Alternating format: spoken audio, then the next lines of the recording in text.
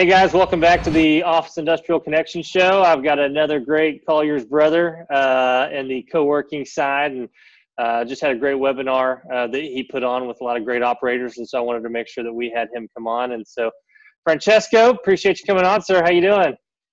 I'm good, Cody. Thanks for having me. It's good to be here. Yeah, no, man. Hey, I appreciate it. So, uh, I wanted you to give us some takeaways uh, real quick um, from that What's Next for Flex webinar uh, that you did last week. It was really good, had some really good key insights and, and people with, uh, you know, the Serendipity Labs uh, owner and whatnot. What were some of the what were some of the main takeaways that you saw on that one? Yeah. So I'd say a couple things. You know, first and foremost, I think we're all working remotely and it's evident that that's not going to change anytime soon. And so occupiers by and large operators are starting to realize that that's going to be a significant part of the real estate tra- strategy is remote driven work. And so how do you as an occupier provide really maximize maximize the amount of choice that you give employer uh, your employees in terms of where and when they can work right? So I think a lot of the conventional norms around where and when employees should work is being flipped on its head. And so operators are starting to respond to that by providing new solutions for how occupiers um, can provide more flexibility to their employee bases, not only in the form of fixed, flexible workspaces, you know, and maybe key hubs around uh, the, the, the country, but also in, you know, suburban networks. So I'd say that was a big, a big one. The other, the other one I'll leave you with is, I think, um, what, what, I'd say is it, more integration between building owners and operators in terms of how they offer a unified solution to the occupier. And so we had a, we had an owner operator on there at Tishman Speyer talk about the advantages of owning and operating the same building. Um, and we had operators talk about the benefit of really more closely aligning with landlords to provide a co-working solution to an occupier as part of an integrated offering. And so I think those are two big key takeaways. Interesting. So yeah, so Francesco is uh, you know with Colliers International, part of our occupier services and the you know the flexible co-working uh, king of Colliers, and so uh, you know that's a avenue that you know I know I've been talking with you about that we've been working with several people, not just in Texas but all over that own the real estate and looking to expand, and you know a lot of those we've temporarily put on hold uh, on the investment sales side uh, for some of those guys, but um, you know, as of right now, you know, out here in Texas, I know it's a little different than you know a lot of other states, and so things move a little faster uh, out here. It seems like, but what do you think? Not just for guys out here, but um, and I was actually going to get your take on this. So I was actually talking to an operator out here that runs several locations, and they've yeah. spent they've spent the last almost two months uh, you know, since the lockdown happened, and now that we've got unlocked and people are going back to work, they spent the last two months basically just marketing like crazy to all these other uh, you know to the to the users and clients of all these other operators that you know were leasing other co-working spaces. They've been marketing to all those guys to recapture that audience uh, as doors started to open back up. And so uh, what do you think uh, as a co-working operator uh, what should a lot of those guys be doing right now moving forward uh, kind yeah. of in an overall sense. It doesn't have to be just area specific. Yeah, yeah. Well, look, I think first and foremost, the, the baseline fundamentals right now for operators is how to, how to communicate effectively with your occupiers, both your current occupiers as well as prospective occupiers, that you're taking the right steps, uh, right steps around health and safety to keep people safe right? I mean, that's that's baseline number one. And if you if you don't have a, a you know a COVID reentry strategy, if you don't have health and safety standards that you've communicated, that that's priority number one. Um, moving beyond some of that those baseline fundamentals, I think uh, you, you you hit on a couple things that I think are interesting. One is there are a lot of operators out there struggling right now, and there are a lot of operators out there who are looking to expand. And so the ones who are looking to expand can seek out opportunities to find building owners who currently have operators in their buildings that may be suffering from financial health or looking to shut down locations. And so, how can you come in and and and and be a new partner to a landlord in a maybe a more sustainable model um, to to be their partner? The the second I'd say is um, really focus on as, as you think about what companies want right now, they want beyond safety around health and hygiene. Uh, they, they they they want to move away largely from open floor co-working uh, settings, and they want increasingly contained private dedicated space still in offered on flexible terms as a managed product. And so how could you refit your current spaces to create some more dedicated spaces private suites uh, fully managed fully contained suites that really um, help occupiers retain a little bit more control than they otherwise would maybe in a traditional co-working environment Gotcha. You know, that's it's unique. I mean, you know, I, I know what's great about you is uh, and what you do for Colliers. I mean, you know the you know co-working flexible workspace not just on a local scale but on a national scale and even a lot more on a global scale than you know a lot of other folks and so is is you're working with a lot of these guys and talking to these uh, companies really all over that are either franchisees independent operators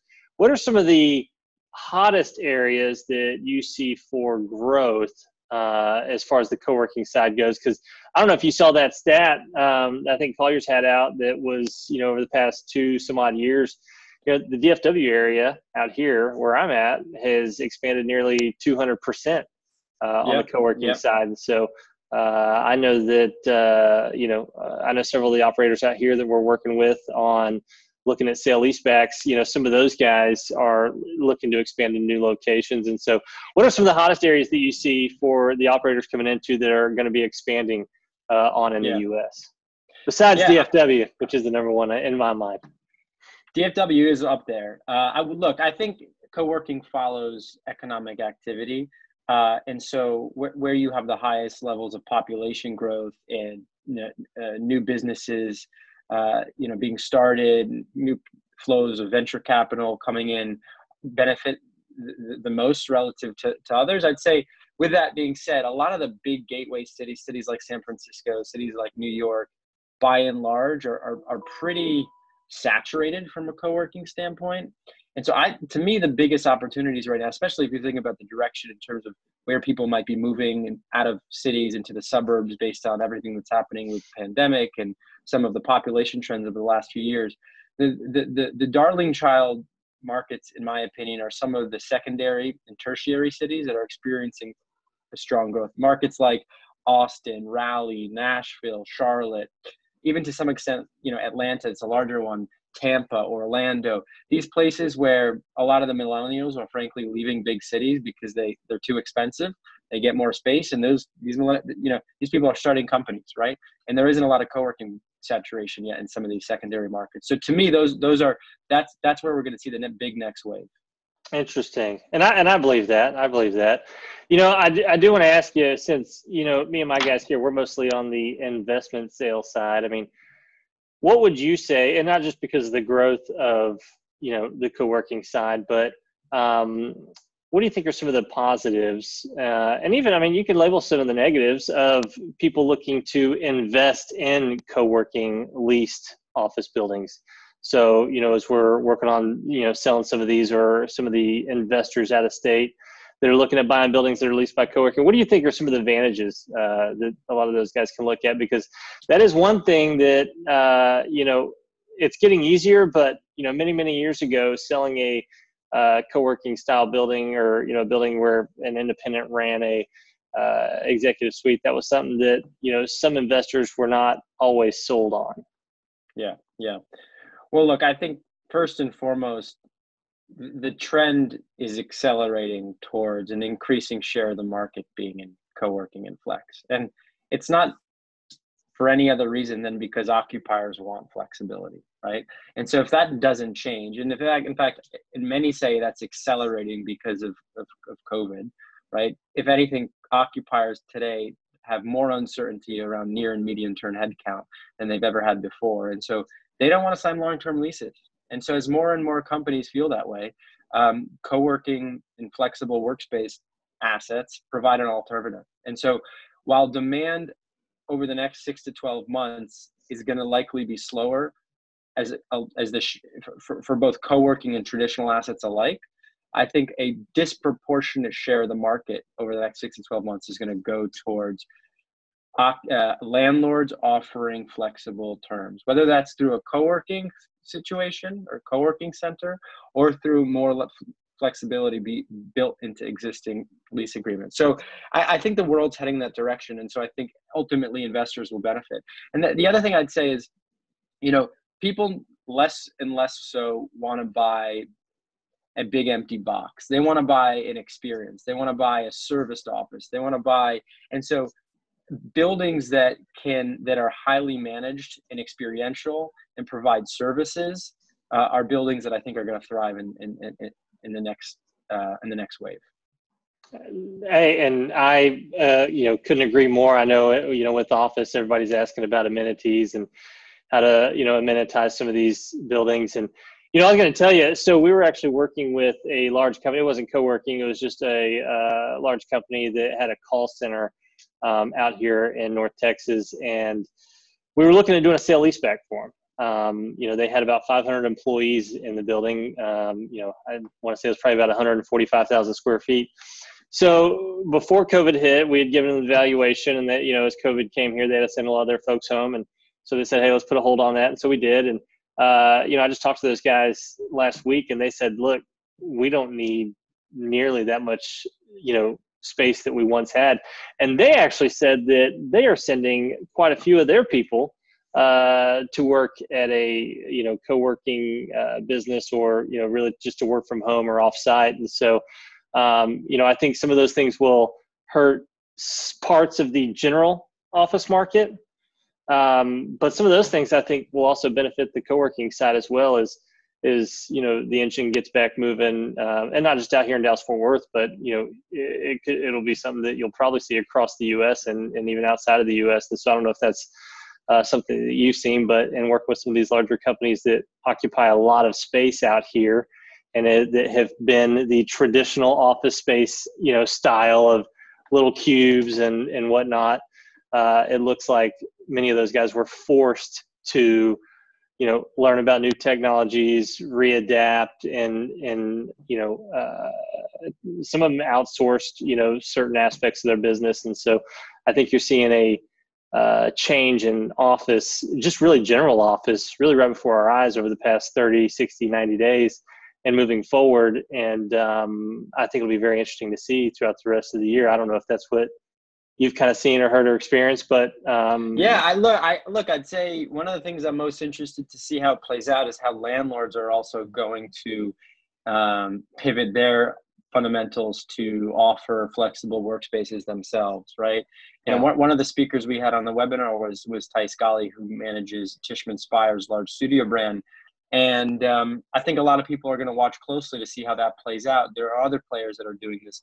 Brookfield, uh, Boston Properties, Hines, Blackstone. So I think as some of the larger players who have, frankly, larger war chests and bigger bigger amounts of funds to sort of spend on R and D, uh, tinker with a do-it-yourself model. Uh, a lot of this, the, the, the small and mid-sized landlords are going to be watching to see if that's an alternative to also working with an operator themselves. Yeah, no, and, and I agree with that. So tell us um, real quick, you know, what do you do here at Colliers and on the co-working side? Give us a good overview of what of what of what you do here. Yeah, so uh, I work in our occupier solutions group, uh, and so simply put, my job is to advise our occupier solutions, our enterprise clients on all things flexible workspace, from running transactions and selecting the best operator based on where they're looking to, to deploy an office to portfolio strategy tools around how to think about where and when flexibility makes sense or flexible work states makes sense within the broader context of their portfolio. And so, uh, you know, I wake up every day working with some of our largest clients, thinking through how to have how to really help them leverage and push flex. So, have you been? Uh, I mean, with the whole COVID thing, I guess you've been doing it all from the house, though, haven't you? Not moving around as much. Yeah, I mean, look, I'm like everyone else. You know, thankfully, um, I'm uh, I got I got some green space where I am, but uh, I'm looking forward to to getting back. And I have to say, I think, you know, like I'm reading a lot of sort of uh, I'm reading a lot about and I'm talking to a lot of companies who are interested in in co-working in the suburbs and currently I'm I'm positioned out in the suburbs and I'd love to work at a co-working uh, office down the street once I'm allowed to. Oh wow, yeah. Well, you know, Texas we reopened back up, so me and the guys were we're back here at the office. We never really left, but uh, but yeah, no, things are uh, looking doesn't better. look like it. Yeah.